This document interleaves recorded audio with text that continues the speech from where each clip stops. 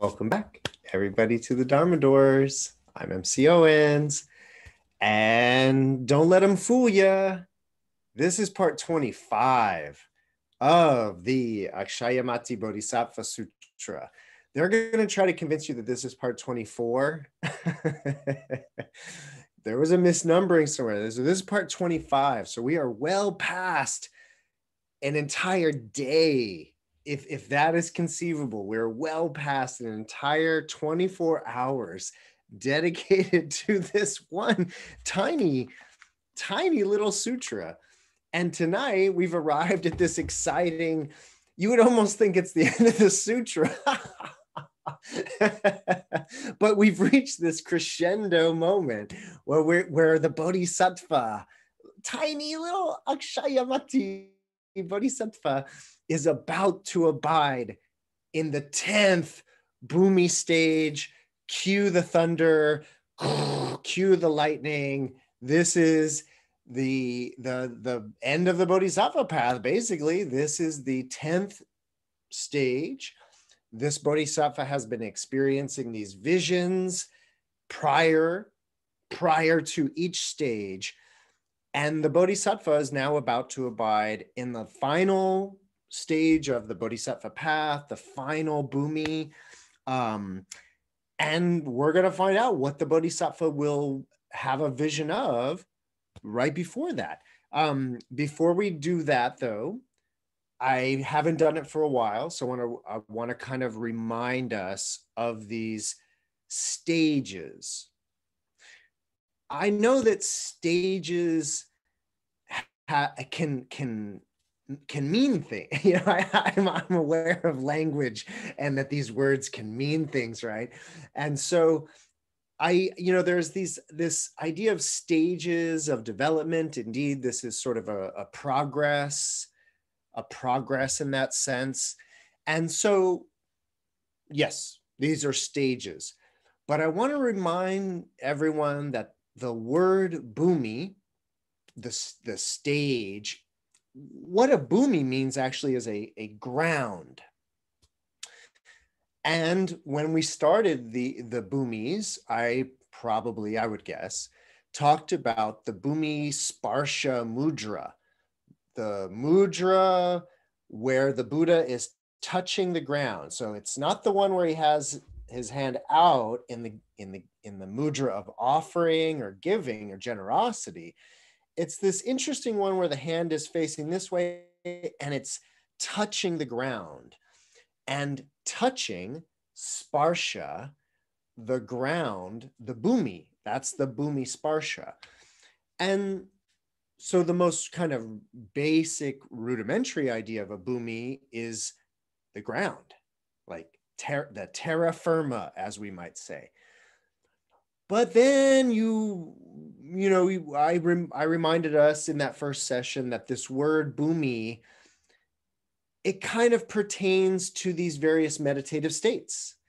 And so when a bodhisattva or just a, just a person in that sense is meditating and they sort of have transcended the realm of desire they've transcended the kamadhatu and mm, you might say they're abiding. They're abiding in the first jhana or the second jhana or the third jhana or the fourth. But the idea of their abiding, well, you could kind of say that the abiding is the verb and the noun of where where that abiding is happening is in a or on a bhumi. And so the idea is is that it, it's kind of a very interesting idea or metaphor where when you're walking around planet earth the bhumi the ground is indeed like the ground and and you can touch the ground with your feet in that way but when a meditator when a bodhisattva begins to transcend sort of these realms the earthly realms in that sense they're abiding in different bhumis. And so I wanted to remind everybody that the, the connotation of a bhumi is not, I mean, it, it is about development and stages of development, but the word bhumi does not necessarily mean a stage or a this level. Maybe that's what I mean. That's what I want to say. You might want to translate as like a level, like there's levels to this. There's levels to this bodhisattva business. And in fact, there's 10 levels. And then when you talk about levels, you could get carried away with certain metaphors. And then we've missed it. it, it we've missed that it's not a level, it's that it's terra firma. It's this idea of like the the base, the ground, the fundament that upon which the bodhisattva is abiding. So I just wanted to to remind us that these bhumis are about yes, we're transcending stages, but we are arriving at these new bases. And by the way, that's another transition is a base as well in that sense. And this is the 10th bhumi, the 10th of such stages, which is called the Dharma Megha, the Dharma cloud. This, um, we're about to abide in it. Uh, so we're about to get a taste or a flavor for this Dharma Megha. Um, I want to say a few things about Dharma. I want to say a few things about Megha, the cloud. I want to say a few things about Dharma Megha. And I also want to say a few things about the paramita or the observance or the practice or the virtue, depending on how you want to translate paramita. But I want to talk about the associated paramita, the associated practice that sort of get one's that gets one to the Dharma Megha stage, or at least the idea is that the this paramita is is completed or fully cultivated in this Dharma Megha. And so the let's just start with that. The, the paramita or the practice that is associated with this is called jnana, knowledge. And I've said this a bunch. So, so, so the, the, the, the idea of tonight is like all knowledge, sarva jnana and I've I've made this point a lot that of course the root this idea of jnana that is the root idea the root even etymological root of a lot of Buddhist ideas. Ideas like samnya vijnana pranya or pranyana. Um, I mean there's a bunch that I could get into which are all these different aspects of knowledge what what might be translated as perception, samnya, associ- associative knowledge or something like that, right? Samnya, samnyana, transcendent jnana, that's pranya, right? Uh, vi, vijnana, which is uh, split or divided jnana. That's our consciousness is actually split jnana, vijnana. And so what's interesting is, is that at this 10th stage, we're not talking about samnya. We're not talking about vijnana. We're not even talking about pranya. We have we're, we have reached the root of it, which is just jnana, unqualified jnana, knowledge. And so that is the idea that we want to talk about tonight.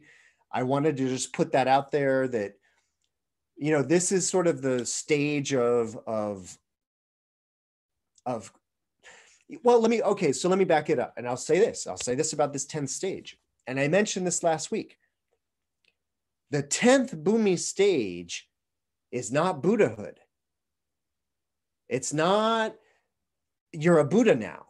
This is the final stage of bodhisattvahood. This is the final stage of the bodhisattva path but we're still bodhisattvas in that way and so there's something interesting going on with that, that in a sense, this is still a stage in the development. And this stage is associated with this development of a certain kind of knowledge. In fact, it is all knowledge or, or some or uh, sarvanyana, sarvanyana, all knowledge in that sense. And mm, I suppose since we're we're going to spend the bulk of this evening talking about this vision that the bodhisattva has before they get to this stage.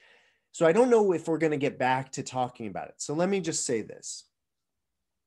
You know, you know what dharma means, right?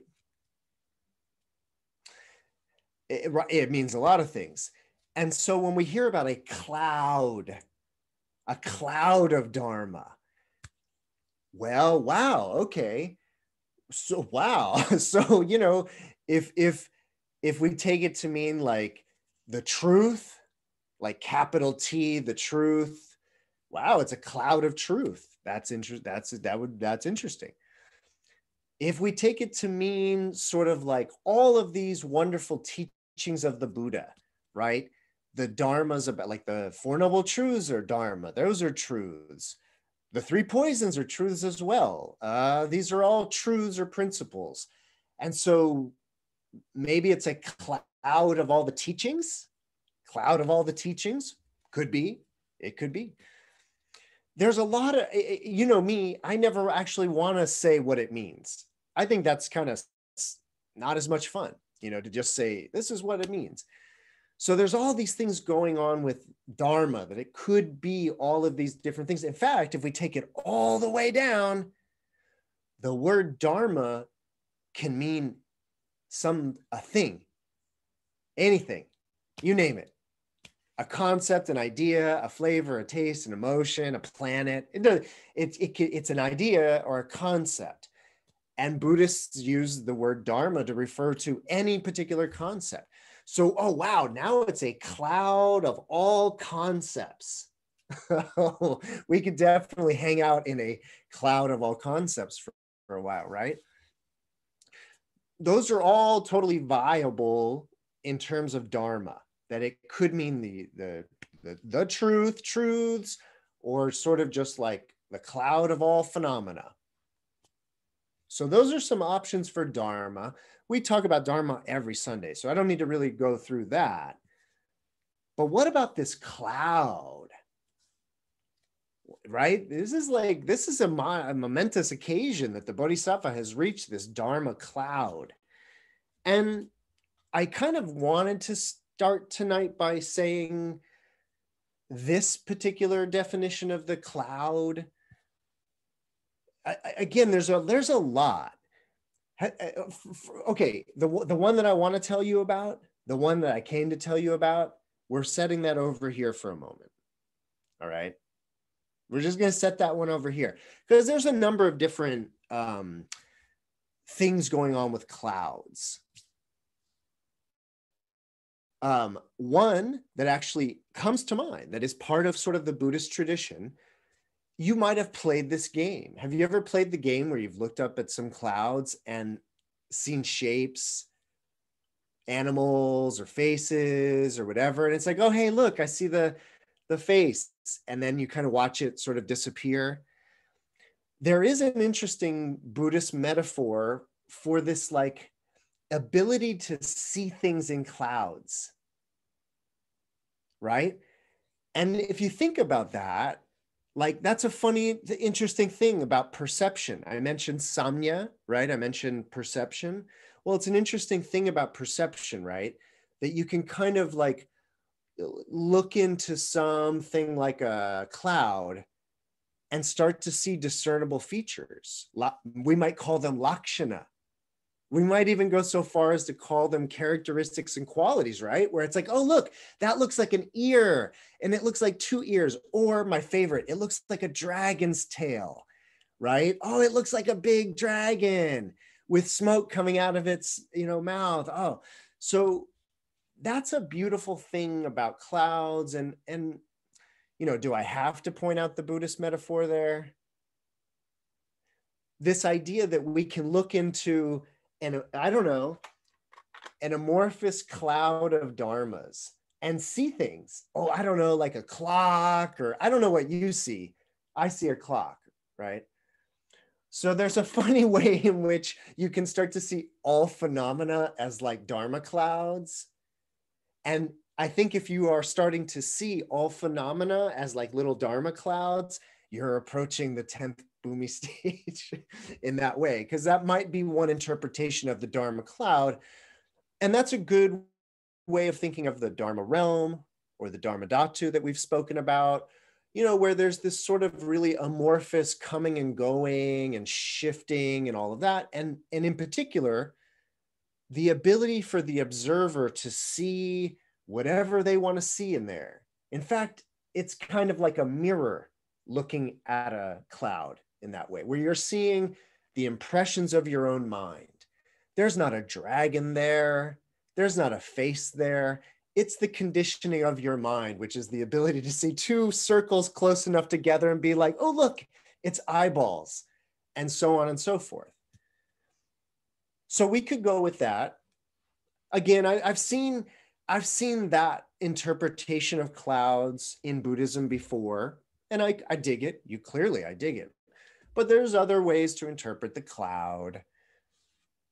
There's definitely one about its um it's like um um floaty floatiness, shall we say, right?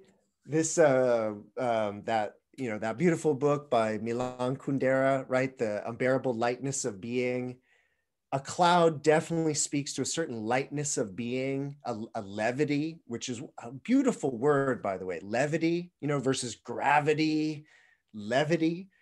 And clouds speak of a levity, a really, really gentle floatiness, that I think is very um, intentional in the metaphor, you know, because it's like if I were to think of, oh, I don't know, a waterfall, if I were to think of a waterfall right now, although it is as nebulous, shall we say, as a cloud, as indistinct and fluid and who's the guy, the Greek guy, Heraclitus, that can't put his same foot in or can't put his foot in the same river twice. He can't even put his same foot in the same river twice, frankly. But that that Heraclitus, that idea of like you can't put your foot in the same river twice, waterfall, amorphous clouds, sure. But when I think of a waterfall, it's like it's there, it's present, it's powerful. a cloud is like again, it's nebulous, floaty, and there's many a uh, there's many a Buddhist monk and nun whose Dharma name includes the word cloud, cloud of virtue, or something like that. And the cloud is very much about this sort of, um, you know, the Buddhists will talk about how clouds um, will rain if clouds come over and they rain, they'll rain uh, equanimously. Uh, you know, unlike the peanuts, unlike uh, Linus, who it is, who has the little cloud over him all the time, and nobody else has the little cloud over him. In reality, clouds are indiscriminate. Clouds rain equally on the rich and poor alike, shall we say. And so there's a certain equanimity to clouds in Buddhism where they, again, they rain indiscriminately. And there's a certain, um, this is another one I read uh, a while ago that I liked. Clouds don't, ba- they basically don't obey borders. they'll, they'll float right over your border. they'll flight, they'll float right over your border wall, right? And this this beautiful idea of clouds being untethered by worldly things like national borders and things like that. I could go on and on with all of these beautiful cloud metaphors. Yeah, Tanya. And they're ephemeral. Exactly. That, that and that's actually that's part of the thank you. That's the way they shapeshift in the first example I gave is also part of this general levity where they they shift and morph. You can never grab them in that way. There's also, um, by the way, the, the Buddhist also recognized a certain, um, how should I put this?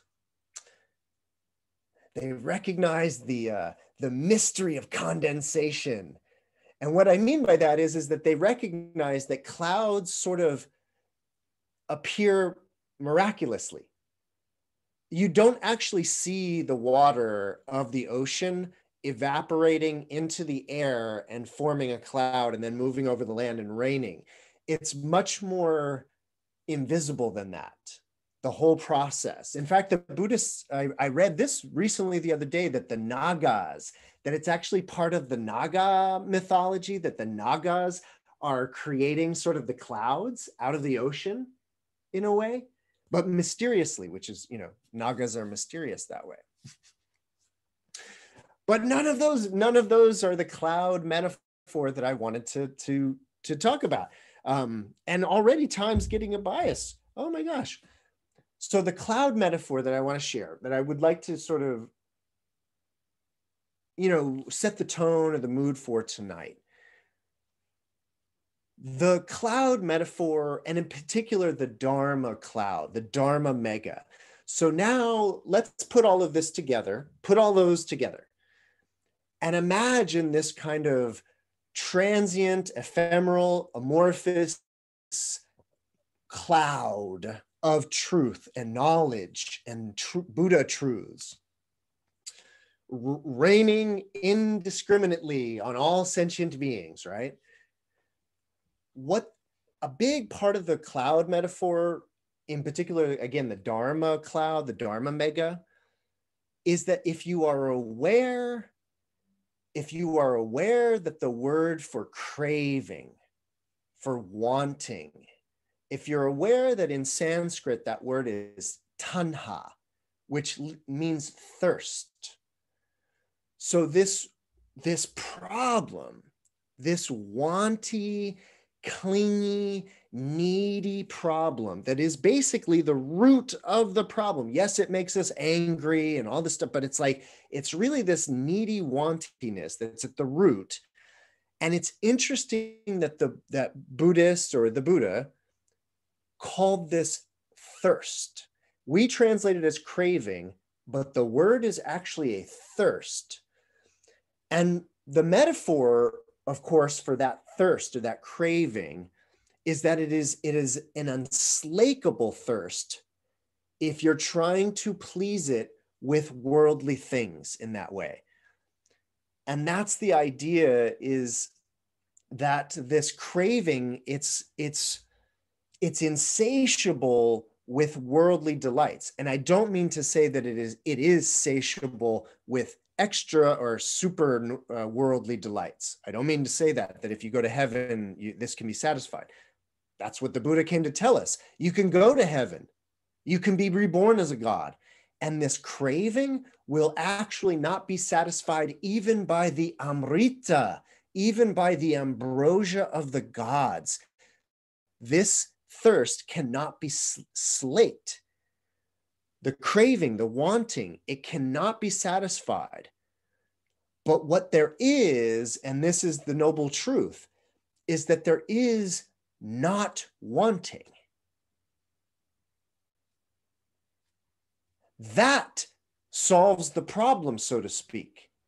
And what they say is, is that the Dharma is that, that the Dharma is that the teaching about not wanting, the teaching that that that teaches us about the dangers of craving and wanting and this and that and leading to our own suffering and be aware and this and that.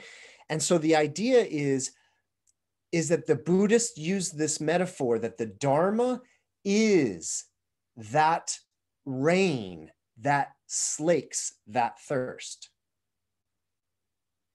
It's a beautiful metaphor. You know, please don't, you know, get it confused as more than a metaphor in that way. In that the teaching is about not the not craving, not wanting. And so there is a teaching for how not to do that. And that is that solves the problem in that way. The other way, which will lead you in samsara forever, the other way is thinking, no, no, no, this will do it. No, no, no. Oh, no, this will do. Oh, oh no. And all the way down, any idea, no, no, no, but this satisfaction will do it, or this will do it.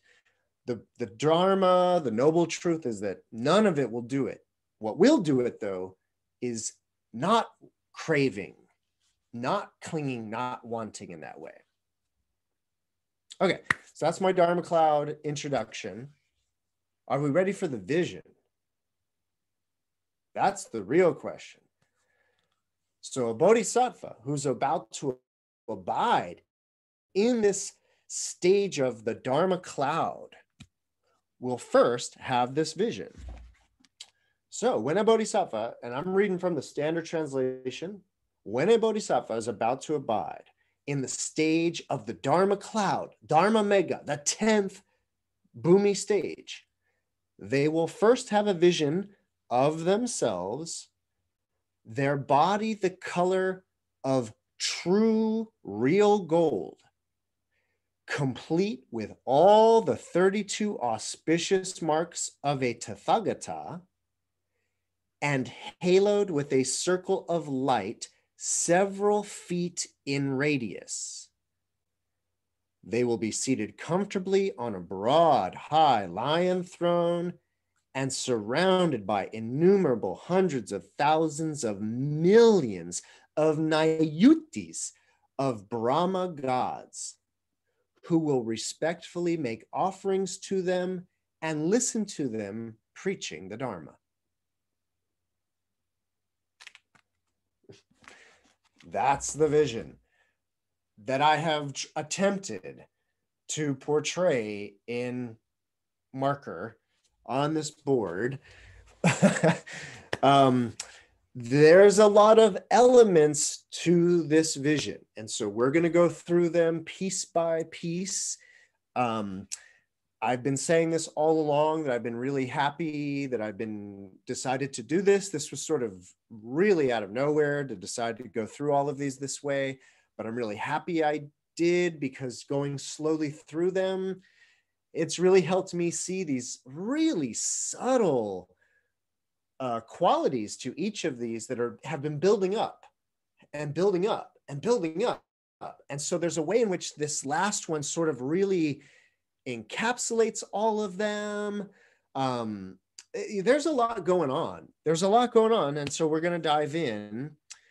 Um, first thing, the first aspect of this, and I'm just doing these in order. I'm going to do them in the order in which they were presented. Um, so they're going to first, and I kept the uh, our Bodhisattva Akshayamati sort of right where he has been because this is the same language. The last four visions have been the same idea of like seeing oneself in these different situations.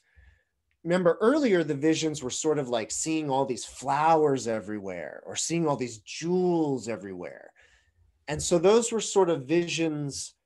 Again, I've said this almost every night. I don't know if these are dreams, if they're daydreams, if they are understandings but the idea is is that the last series of these have been these visions of oneself in these different situations.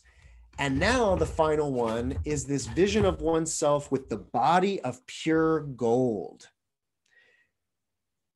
The text seems to be wanting us to not um, uh, uh, the text in Sanskrit and Chinese, it seems to not want us to miss that it's it's like r- almost real gold. it's not like yellow, it's not gold colored.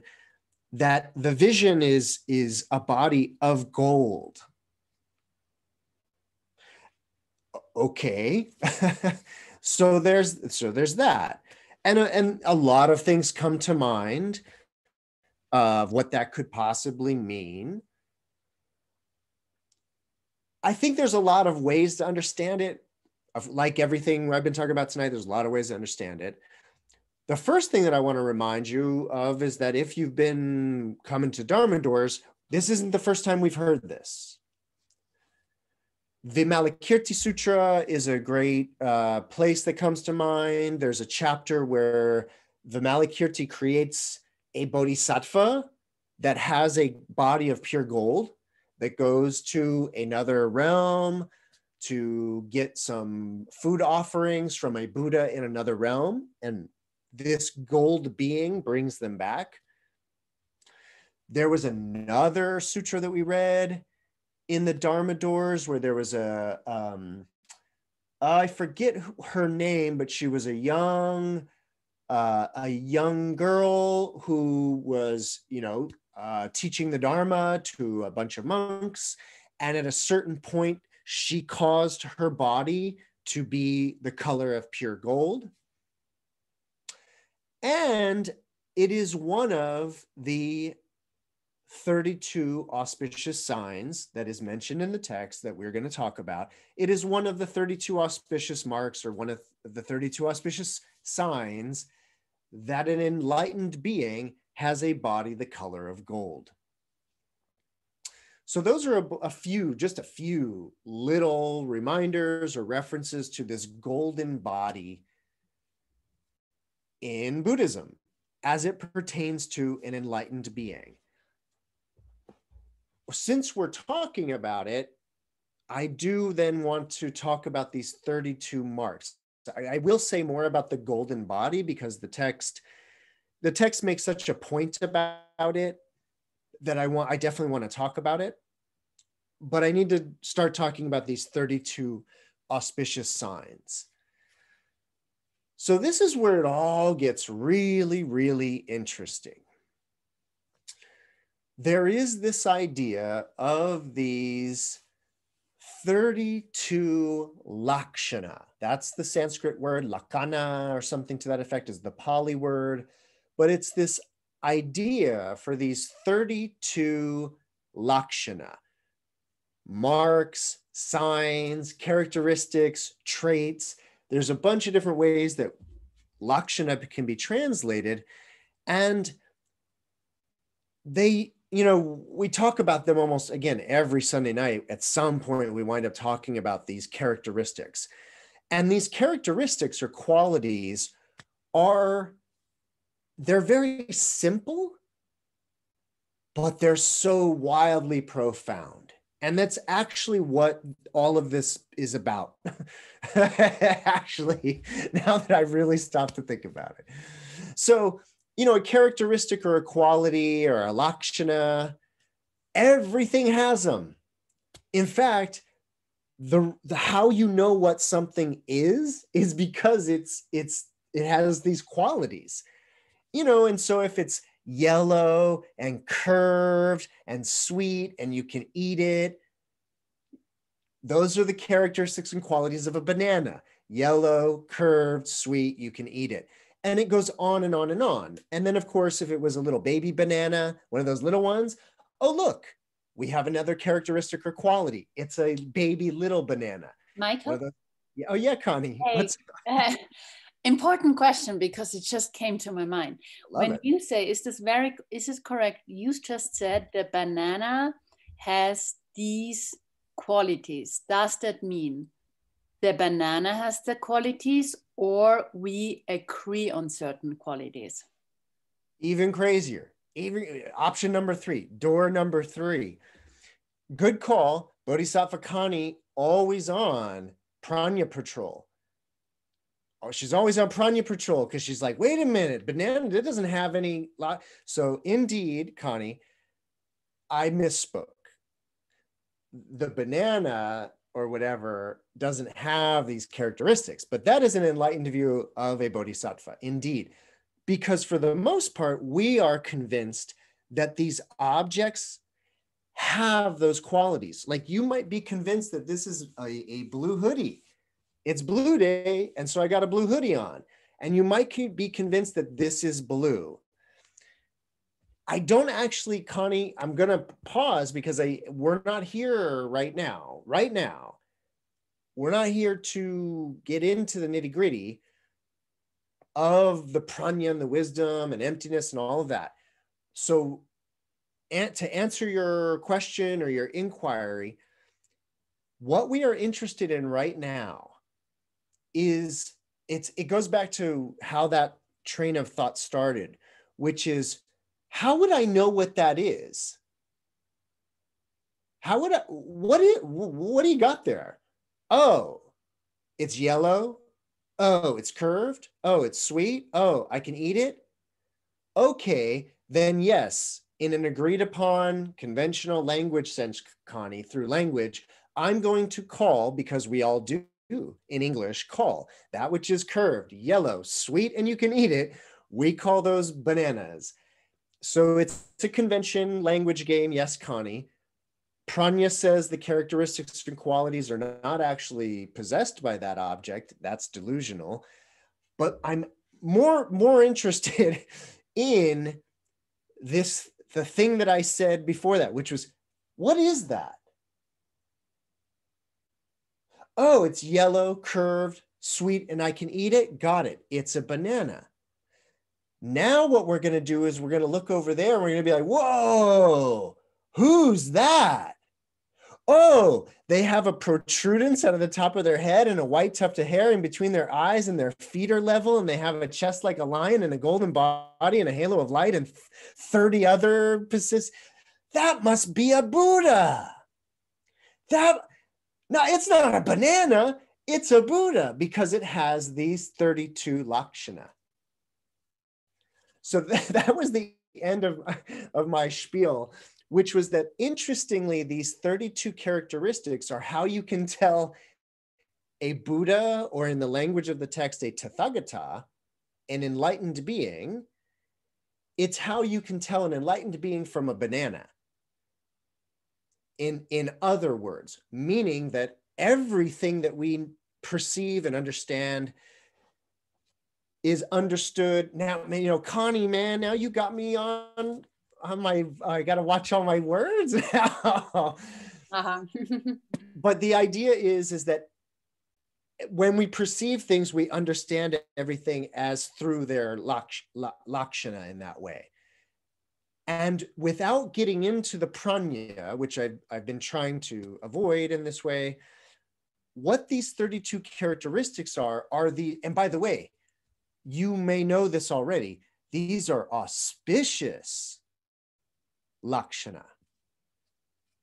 Oh, so that's something else.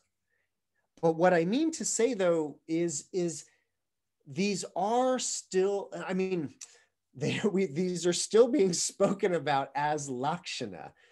But the difference is the interesting difference is, is that oh these are the 32 unique auspicious qualities of an enlightened being.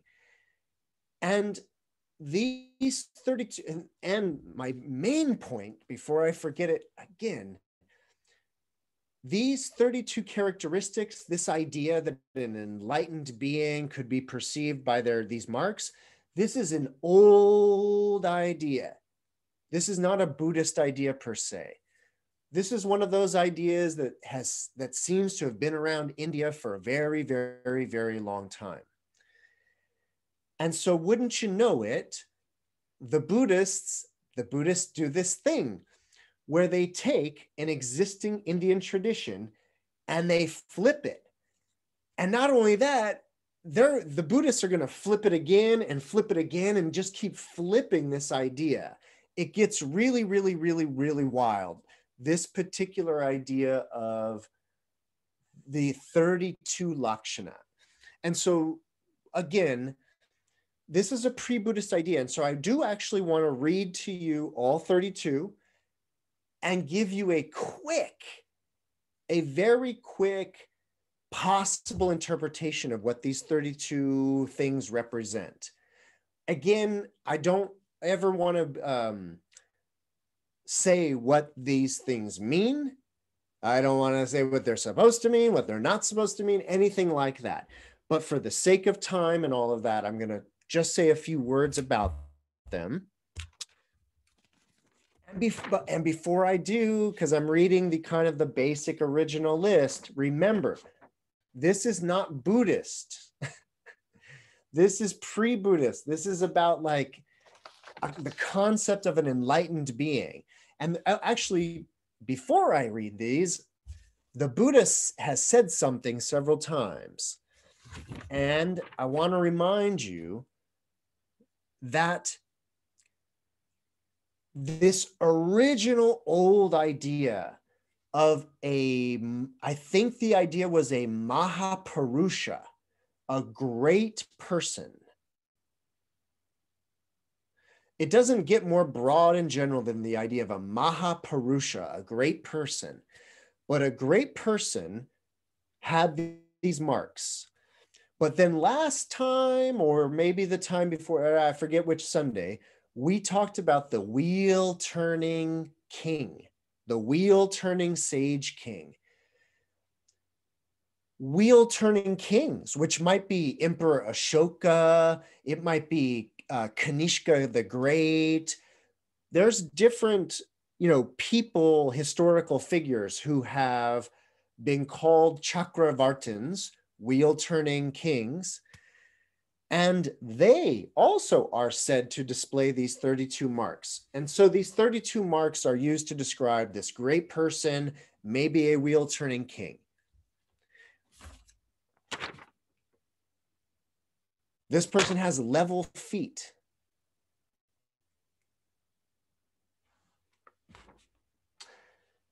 I like to think they got both feet on the ground. You know, you know what I'm saying? Got both feet on the ground. Number two, but, but and again, if anybody wants to, eh, to you know say anything more about these, but I really okay. I don't. I, I I've heard level feet, and I'm like, no arches.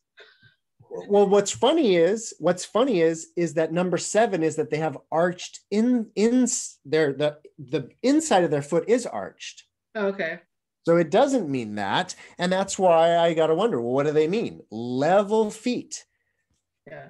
Uh, and as you go through this, just a question like yeah. there's 32 of them. Is the order important or does it?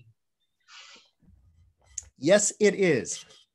I I actually ne- didn't really pay much attention to it, but our sutra, our Akshayamati Bodhisattva Sutra here has got me looking for all kinds of things now.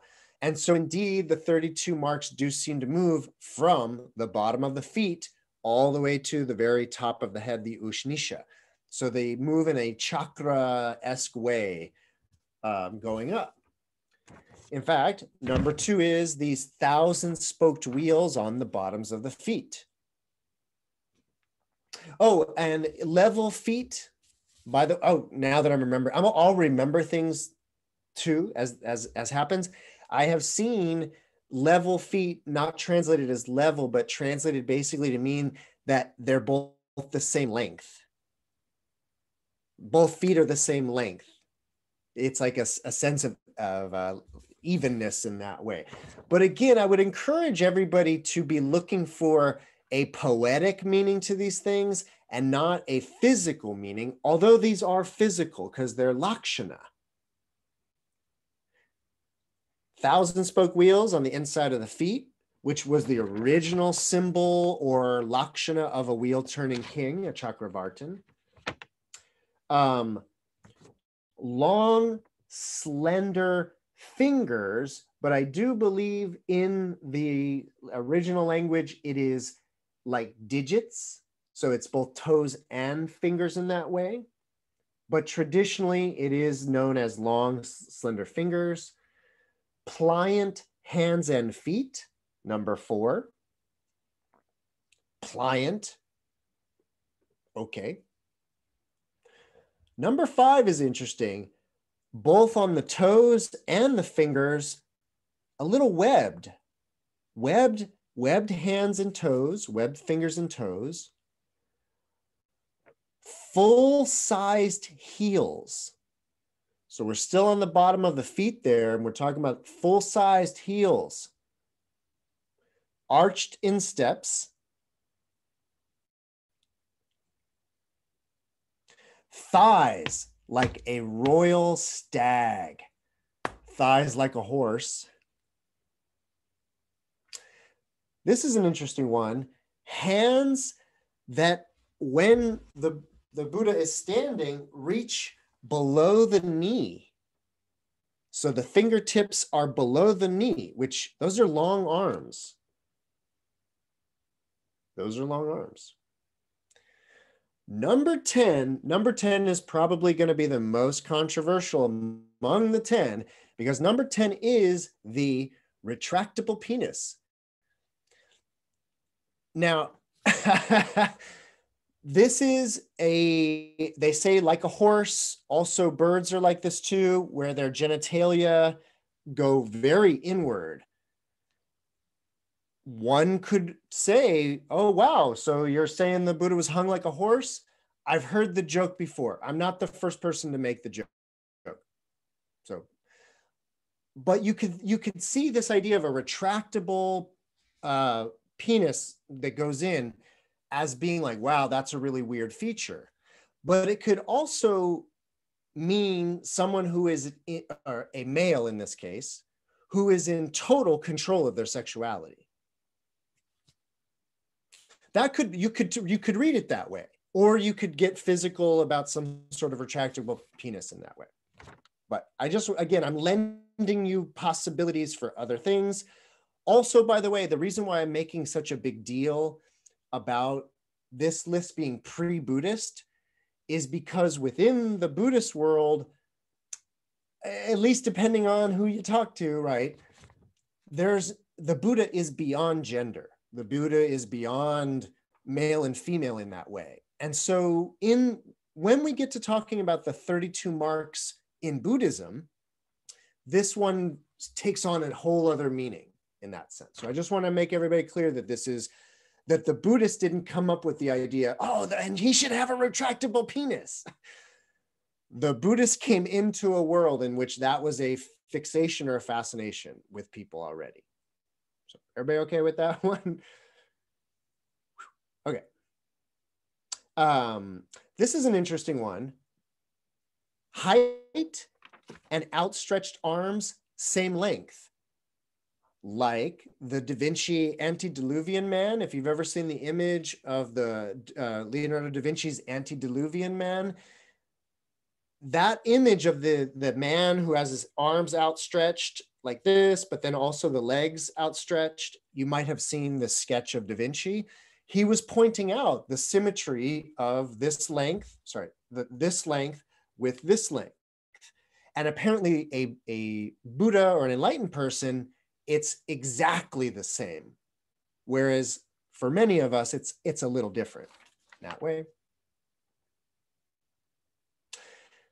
This is a fun one. Number 12, every hair or every root hair dark colored. So you've seen images of the Buddha always having this kind of dark curly hair in that way, but that's an interesting one. Number 14 is the golden body. Wait, I'm on 13. Level feet, thousand spoked wheels on the bottom of the feet, long, slender fingers and toes, pliant hands and feet, toes and fingers slightly webbed is number 5 mm-hmm. full sized heels, number six, arched insteps, number seven, thighs like a royal stag, number eight, Hands that go below the knees is number 9 mm-hmm. This retractable penis is number 10.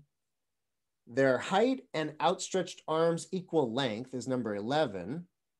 And number 12 is this every hair root dark colored. Right. We good? Yep. So we're on 13. We're on number 13. Got it. All body hair graceful and curly and also, by the way, when you're working on your own interpretation of these, also, of course, keep in mind the rough, rough translation of these words, right? That often what happens in translation is words have double entendres, double meanings, and things like that. And so just be open to the possibility that you're also getting a very rough translation of these. All right. Number 14 was the golden hued body. Number 15 is our aura that is mentioned also in the vision. So the vision says that the bodhisattva will have this vision of themselves with a halo. This one in Chinese, it's specifically eight feet or the equivalent of what would be eight feet in diameter. I've heard 10 feet, uh, this one actually says 10 feet. So, you know, somewhere between eight and 10 feet, a halo of light.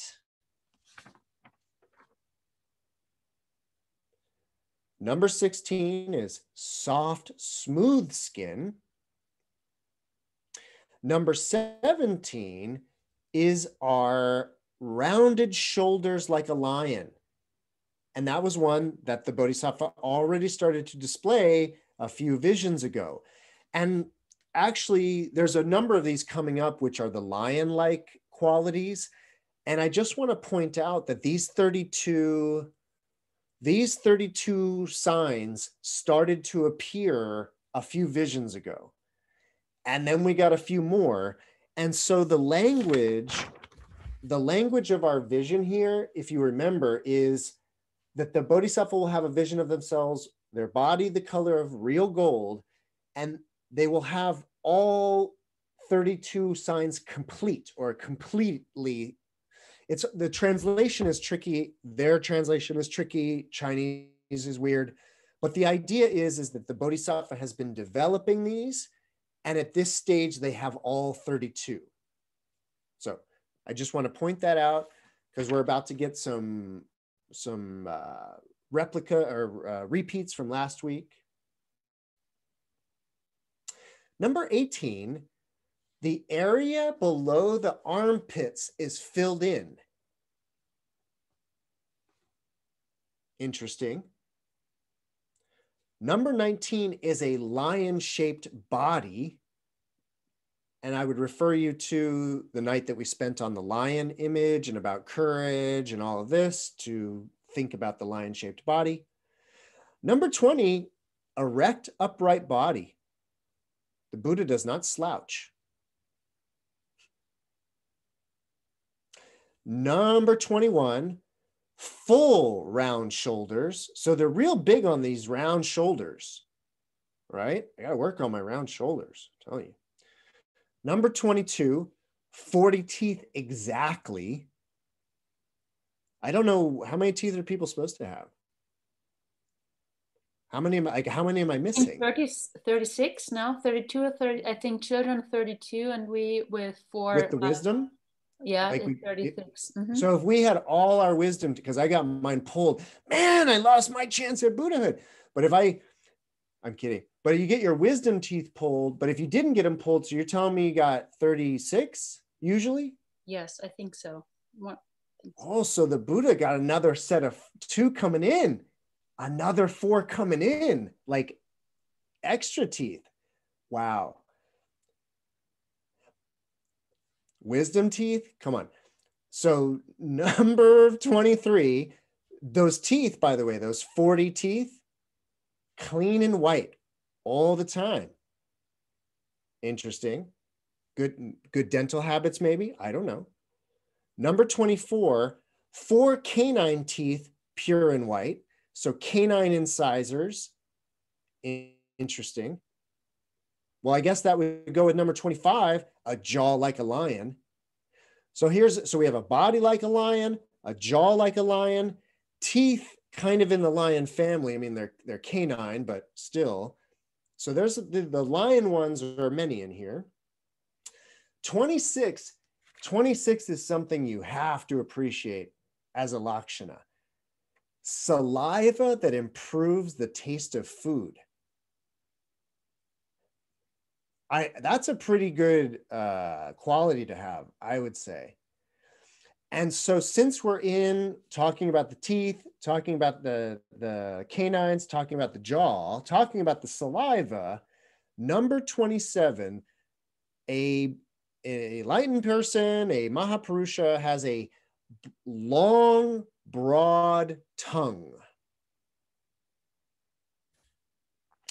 And what I love, oh, uh, so I don't, because time, yeah, time's not on my side tonight.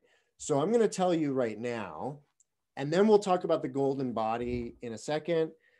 But I want to tell you like about this one, for example, a tongue, a tongue long and broad.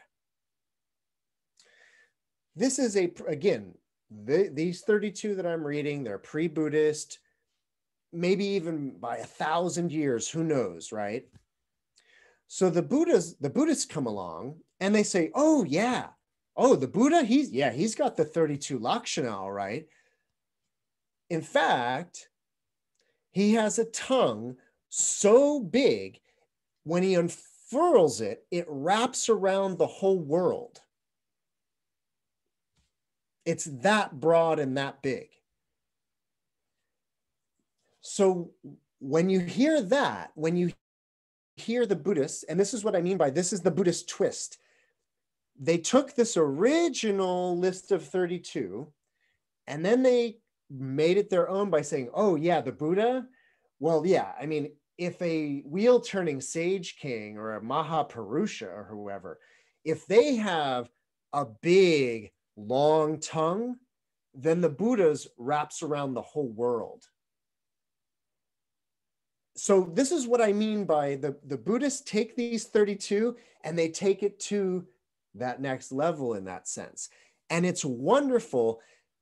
And for me, when I read it, I go like, oh, oh, so that's maybe what a long, broad tongue means, that it reaches a lot of people. It is a, a Chakravartin or Mahapurusha or whoever is someone whose voice, their tongue, reaches a lot of people. Oh, isn't that a really beautiful poetic way to say that, that they have a long, broad tongue? And isn't it wild to say that the Buddha's is so big, it wraps around the whole world, right? Because he's been translated into more languages, right? Than, you know, all of these different ideas. So, again, because I'm not sure I'm going to get back to the full Mahayana twist on all of these. I wanted to put that one in there. Oh, and as we get to the last series of these, you will definitely start to hear it, will be almost like I'm reading a sutra in terms of the way this is about to go. So the last ones are that the Buddha has number 28, a deep resonant voice, eyes deep blue like, like lotus flowers. That's number 29, by the way. Number 30, eyelashes like a royal bull. And then number 30, the urna, the white tuft of hair in between the eyebrows that emits light. And number 32 is a fleshy protrudence from the crown of the head called an ushnisha.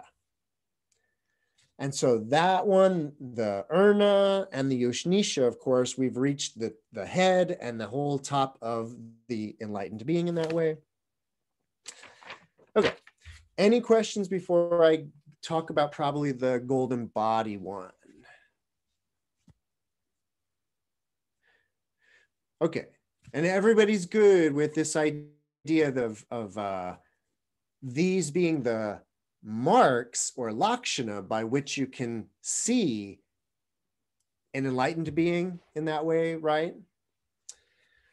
So, in general, it would seem that the golden body, it would seem that it represents a fully purified body of everything in that way that it's definitely sort or it seems to be a mark of purity in that sense.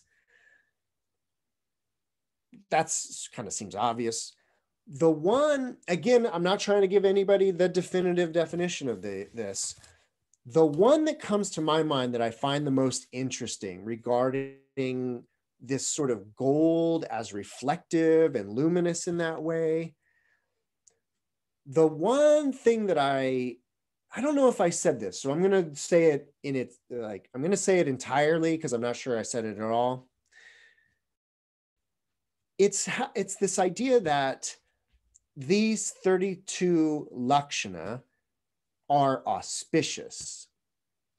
They're not like regular old lakshana.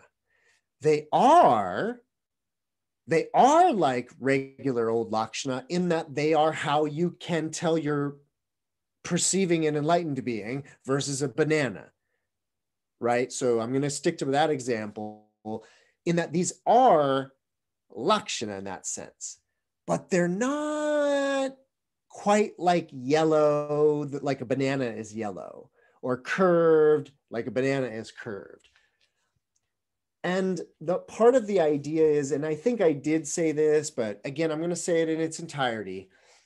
you may perceive me, Michael, as being with the hair bun and I don't know, maybe you see me as male or choose to in that way or what have you. The guy with the blue blue hoodie, um, the guy that sounds like this, I guess, right? like the these lakshana in that way. And these are the way that you are like, oh, it's Michael teaching Dharma, Dharma doors. I, I've tuned into the right Zoom room because I recognize him. The idea of these 32 lakshana, I would suggest a way of thinking of them. And what I'm suggesting is how to think of that qualifier auspicious, that these are auspicious lakshana, auspicious signs, and not regular, they're auspicious. And so what I would suggest is, is that in the perception game of reality in which we are discriminating things and discerning things and figuring out what things are that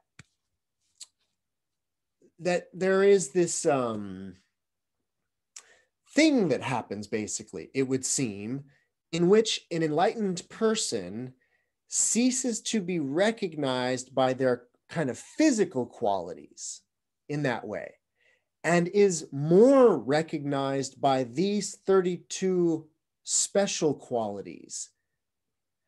And if you're thinking about them physically, then again, review t- tonight's talk because the idea was is even though these are described as physical, like 40 teeth, I think if you get hung up on like, okay, say ah, let, uh, let me count them, buddy, because I'm not going to trust you that you're really teaching me the Dharma until I count all your teeth and I know that you have 40.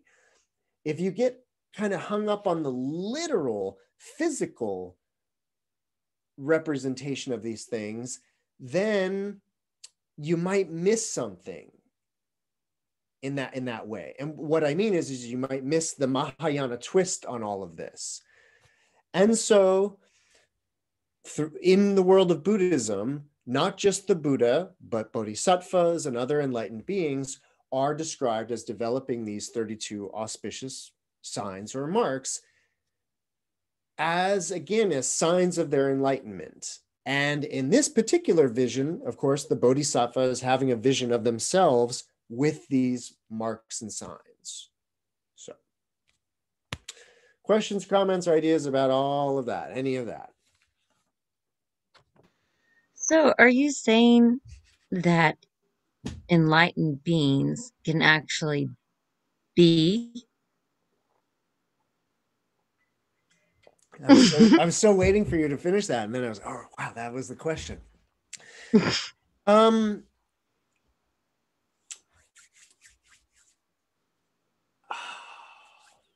could it be that the presence is enlightened so that a being is enlightened. And they don't have to wait like a hundred years for the being to, of enlightenment. I, you know, I mean, I'm, I'm really, it is a great, great question, you know, and I uh, certainly, I don't, you know, if I'm gonna, if I provide any answer, you know, it's going to be some, um, I don't know what it's going to be. It's coming. Seizing, seizing easy. Oh no, no. I mean, it's such a good question.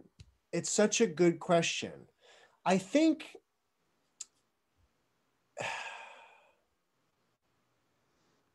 Oh, well, yeah, because there's so many, so many things that comes to mind. The, yeah, this is this is where it gets really, really tricky because no the, the answer is no uh, buddha's sort of you know are enlightened beings in this sense ah see yeah this is where i'm getting stuck are we talking about enlightened beings or are we talking about buddhas what i mean to say is is remember this is not this is we're not even in the 10th stage. This is a vision we're going to have before we're in the 10th stage. Then we got to hang out in the 10th stage for a while. Then there's buddhahood. And so on that note yeah this is the answer i was looking for. Mm This is the answer I was looking for. Buddhas, like beyond the 10th stage, neither exist nor don't exist. Neither are nor are not, are completely beyond all dualities, are, you know, neither nor in every possible way. That's Buddhas, though. We're still down here in our, we're practicing our, we're, body, you know, and what I mean is, we're still playing the perception game in, in a certain way. I'm st- I still got bananas. I got bananas over here. I got uh, you know I got stuff going on, and so to the degree, yes, this is the answer. To the degree to which we are still in the land of perception, the degree to which we are still in the whole language game and all of that, I do absolutely need to be able to distinguish a banana from a Buddha. In and I and don't know Zen masters in the audience telling me about bananas having the Buddha nature and all of that. It's not about that. What I mean is, is that this tradition, I, I don't say this enough, this tradition is not in any way nihilistic in that sense. We are not striving for some sort of uh, philosophical resolution of everything and and and this sort of what I mean is is that we do not throw everything out and because there's there's a sort of a risk in that of going too far with throwing all of this stuff out. And so again until we're beyond beyond gate gate paragate parasamgate until we are gone gone very gone we are still in the perception game. And in that game we need to know our enlightened beings from our unenlightened beings in that sense I hope that kind of answers the question about their the, these enlightened beings being or not. Ho hopefully, kind of, sort of. Everybody, everybody there? Everybody okay?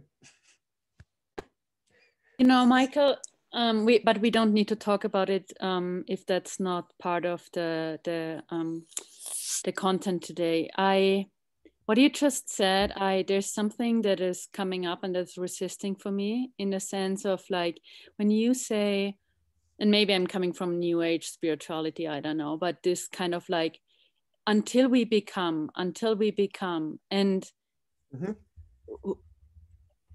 what or who should become you know mind itself the ego will always be because that's the, that, that's the that's, that's the characteristics of mind always be conditioned you know like it and and that what already is and let's in buddhism you call it buddha nature doesn't become it it's not going anywhere it's not so um i i have a not a problem, but um, there's some resistance coming up when you say becoming, you know, that, yeah, becoming. Excellent, perfect, thank you, excellent. So let me let me be clear about what I mean. I yes, uh, you caught me again, Connie, on my bad use of language. Until we become bad language, until we stop clinging, until we stop craving, there's this reality and me and you and differentiation and suffering and see the four noble truths all of that. And, and so the irony of all of this is it's, it's actually a doing that is the problem a doing of wanting a doing of clinging a doing of thinking and overthinking. And so this is a process towards not clinging not craving not attaching and ultimately not thinking deludedly. I don't want to say it's not thinking. We don't turn into zombies, but we stop thinking deludedly in that way. Does that make sense, Connie? Awesome. Thank you. Thank you. Awesome question. And it's such a good question because it it makes me say those things. And then that's it wouldn't have happened otherwise. And that's how this Dharma thing works. Awesome. All right. I have a few more things to say about the vision because we have two more, three more elements. Seated high on a broad high lion throne, surrounded by Brahma gods, and those Brahma gods are making offerings to our Bodhisattva Akshayamati. So the lion throne I talked about because we spent a whole night on the lion imagery in Buddhism.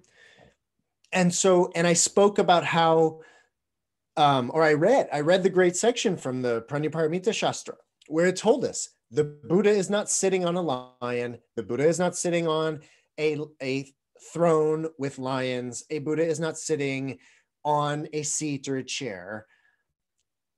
This lion's throne is about this sort of again this sovereignty independence courage bravery pride in that in the good sense what they what they would call the vajra pride. Those are all these elements of the lion. And you know I, I, I, I read something that night that we talked about the lion. And I wanted to remind everybody that this the lion metaphor, the courage, the bravery, these things, the sense is that you know these things come naturally to the lion. The lion's not trying to impress the other animals. The lion's certainly not trying to, uh, in the metaphor, no don't go zoologist on me. But the lion is not trying to instill fear in the other beings. The other beings just fear the lion, but it's not the lion's sort of intention in that way. They can't help being so big and bad in that sense. And what I mean is, is that these these qualities of the lion that are being celebrated, like bravery and courage, they don't require they don't require the subjugation of another if that makes sense. In order for me to be brave, I don't need to be have I don't need somebody to be in fear of me in that way. And so there I want to make that clear about the the the feelings about this lion and now seated on this broad high lion throne. That's um, well, that's about the lion metaphor and what it would mean to sit on a lion throne. But there's some other stuff going on with this lion throne. I don't want to, um, I don't know enough about it. So I'm just putting this out there for other people to go look into if they're curious. There does seem to be some sort of correlation between the lion's throne, which our Bodhisattva is seated on, and the constellation Leo. And the constellation Leo, which is the lion, is also the Simha, is also the lion constellation in Indian astrology as well. So it's interesting that cross cultures, that particular constellation is considered a lion. And what I have heard, but the reason why I'm just putting this out there is because I have yet to track down the actual sources. There seems to be a sense that, again, as a metaphor or what have you, that when one is at the 10th stage in that sense, when one is displaying the 32 marks of a superhuman, when one is in that state, there is a transcendence of the physical body, right? Which would have all these lakshana, right? This is the body that's six feet tall. That's this lakshana the characteristics or qualities of the enlightened being, that body is huge. And what they say is, in a way, or again, what I've heard, is that that body is so huge that the entire constellation of Leo is their throne. That it's like an astral, an astral abode, an astral throne, an astral chair, or something like that again, I put that out there for people to dig deeper into. I'm not exactly sure. There does seem to be uh, the constellation of Leo does seem to have Buddhist connections, but I have yet to dig all the way deep into that stuff. So that's all I got to say about the lion's throne is the independence and sovereignty, courage and bravery, and maybe some sort of exalted Sambhoga Kaya seat or something like that. Maybe. And finally, the last part of our vision is that we will see ourselves, bodies all of gold, halo of light, seated on a lion's throne, surrounded by these Brahma gods making offerings to us. So I have here, I've did, I did my best, you know me with my stick figure drawings, uh, but they're making offerings. This, this Brahma god is offering light offering light beams. That's a very Buddhist thing to offer. This bodhisattva is offering a jewel. This, or Brahma God, I should say. This Brahma God is offering incense because that's a classic thing. So they're offering all this incense, flowers. You got to offer flowers to the Buddha. Music. So our divine drummer, and what I I was excited because the drum is giving off jeweled music, musical jewels right, being offered to the Buddha. And then, of course, our parasol, our beautiful umbrella, a jeweled, jeweled parasol. So these offerings are being made to our bodhisattva in the 10th stage by these Brahma gods. And I probably don't need to tell you, but I will say it. This is very interesting because it was the thing that I I started to pick up on earlier and then I was like, wait a minute, what's happening here? And indeed, you will notice that at this 10th stage, the Bodhisattva is surrounded by celestial beings, heavenly beings, the highest rebirth. Last week, the Bodhisattva was surrounded by kings, the highest of the human realm, so to speak. The week before that, they were surrounded by all the animals, and they were the lion, the highest of the animal kingdom in that way. The week before that, they had hell realms on either side of them. And so there has been this interesting transcendence of the various levels of rebirth from the hell dweller, animal realm, human realm, and now even the gods have come to what is it? respectfully make offerings to the Bodhisattva, and listen to the preaching of the Dharma. And so, the a beautiful kind of like way that this, this tonight's Dharma talk comes full circle is this it's this beautiful expression about the Dharma, about Buddhism in that sense, that they say that the Dharma is a teaching for both men and gods.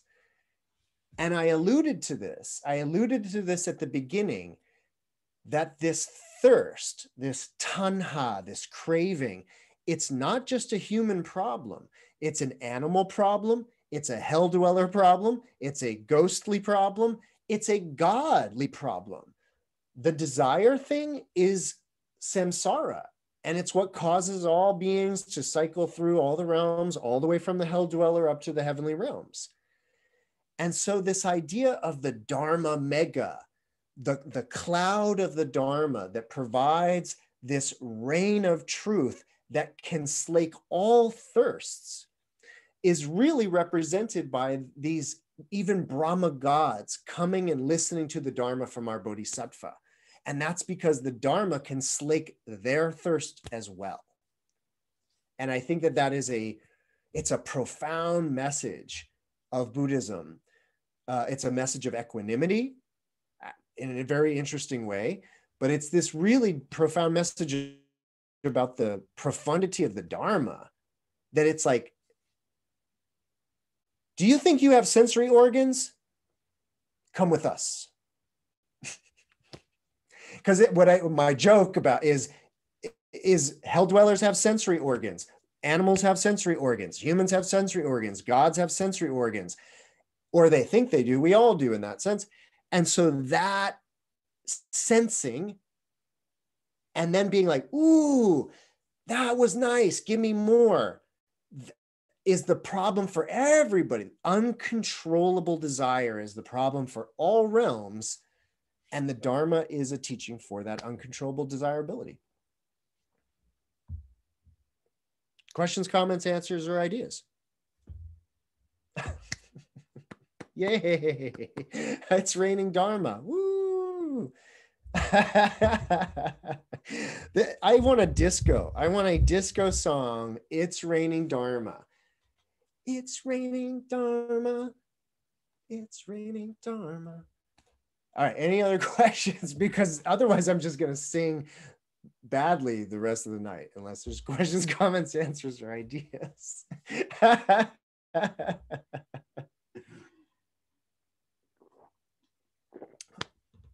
All right. Um, I, yeah, I'm pretty sure that. Oh, I did have one.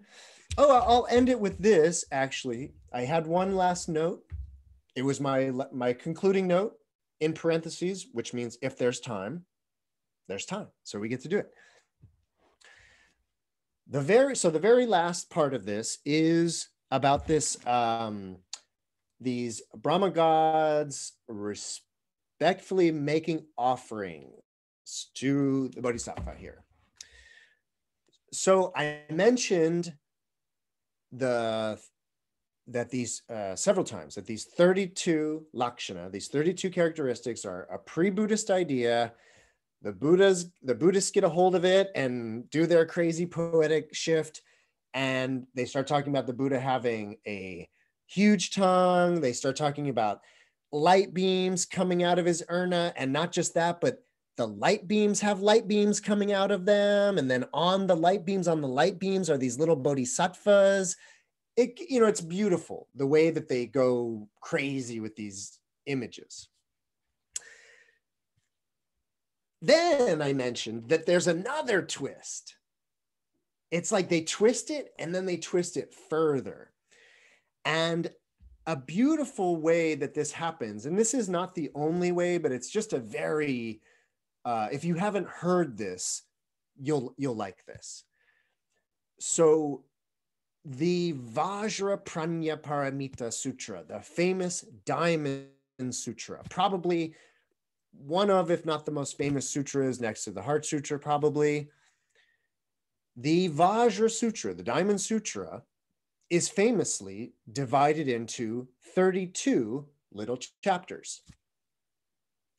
And the reason why it is said that it is divided into those 32 chapters is it says that those are the real lakshana of the Buddha. Those are the way the Buddha can really be recognized.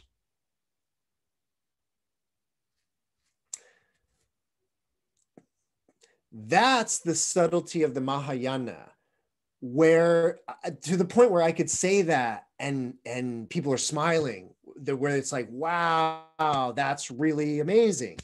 Yes it's really beautifully amazing that they that they go from this really you know first of all they go from a very uh, male anthropocentric model to a very just anthropocentric model to something off the charts like truly something else in that way.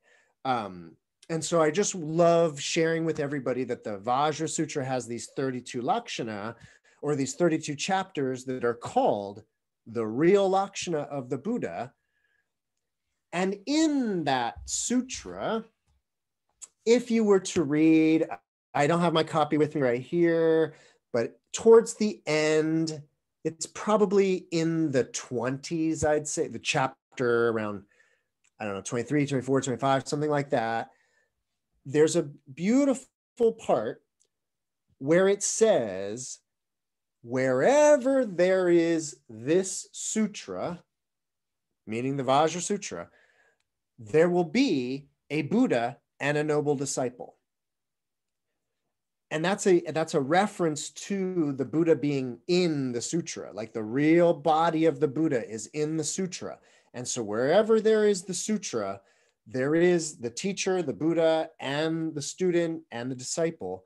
And then it says, and wherever there is the Buddha and a disciple and the sutra, Brahma gods will come and make offerings at that spot.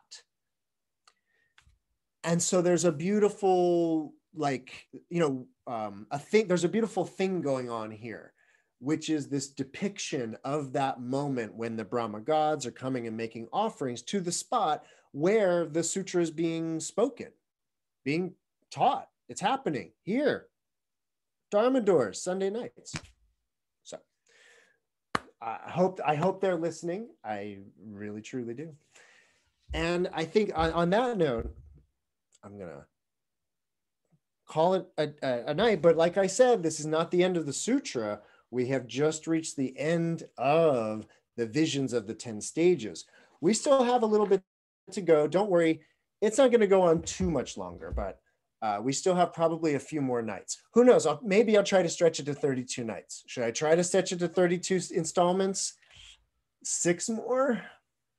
We'll see. We'll see. Stay tuned.